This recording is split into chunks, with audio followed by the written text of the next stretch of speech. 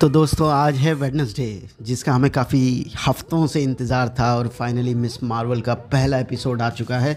और जिसे देख के मैं यही कहना चाहूँगा कि जैसी उम्मीद की थी, उससे कहीं ज़्यादा अच्छा है। तो एमसीयू की बाकी सारी सीरीज़ की तरह, ये सीरीज़ भी नई स्टोरी को आगे बढ़ाती है और इस सीरीज़ की स्टोरी एमसीयू की यंग ऑडियंस के लिए है, जिसमें काफ़ी कुछ एक फ़ैन की तरह दिखाया गया है, जिसमें कमाला खान को बिल्कुल एक एमसीयू के फ़ैन की तरह दिखाया गया है, जो सिर्फ़ एवेंजर्स की बातें करती है, उनके बारे में सोचती है।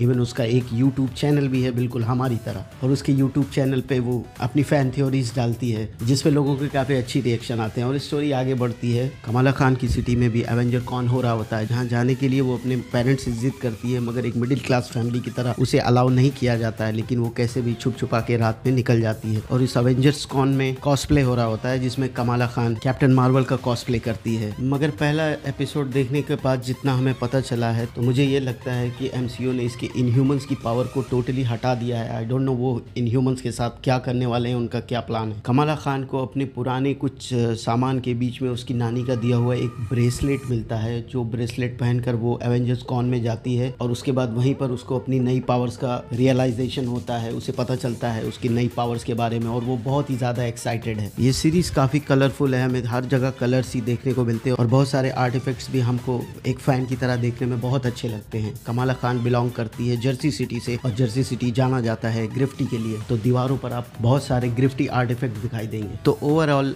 पहले एपिसोड का एक्सपीरियंस काफ़ी मुझे अच्छा लगा। बहुत ही कलरफुल बहुत ही वाइब्रेंट और थोड़ा सा फनी भी। और एक फैंस एक ट्रू फ़ैन एक एम ट्रू फैंस को खुश करने वाला एपिसोड एक यूट्यूबर जो हमारी सुपर हीरो कम्युनिटी के लिए वीडियोस बनाते हैं, उनको खुश करने वाला एपिसोड और मुझे इस सीरीज़ से अब थोड़ा उम्मीदें बढ़ गई हैं एक्सपेक्टेशन बढ़ गई हैं। मुझे लगता है कि ये सीरीज़ आगे चलकर बहुत अच्छी होने वाली है। तो स्टोरी को ज़्यादा एक्सप्लोर ना करते हुए इस वीडियो को मैं यहीं पर ख़त्म करता हूँ। और आप लोगों से मैं यही कहना चाहूँगा कि जाइए डिजनी प्लस पे इसका पहला एपिसोड देखिए। उम्मीद है आपको बहुत पसंद आएगा। और जैसे जैसे हर हफ़्ते इसका एपिसोड आता जाएगा, मैं उसका ब्रेक डाउन करते हुए, उसको एक्सप्लेन करते हुए आपको बताता जाऊँगा। तो आगे के आने वाले सारे एपिसोड्स की वीडियोज़ देखने के लिए मेरे इस चैनल को सब्सक्राइब करें और अगर मेरा ये वीडियो आपको अच्छा लगा तो प्लीज़ इसे शेयर करें अपने दोस्तों के साथ। थैंक यू बाय अपना ख्याल रखें।